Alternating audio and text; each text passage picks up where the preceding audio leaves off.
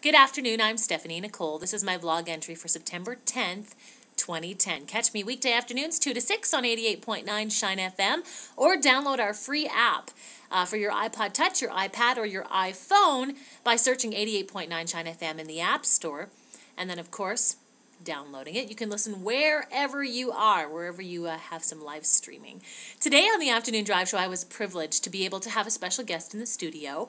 I had Dan Bremnes. He's a great Canadian artist from Salmon Arm, BC, kind of making his way new on the Shine FM playlist. His song called Beautiful. We've been playing it for a little while, um, but he actually treated us to a live performance of a song called This Life.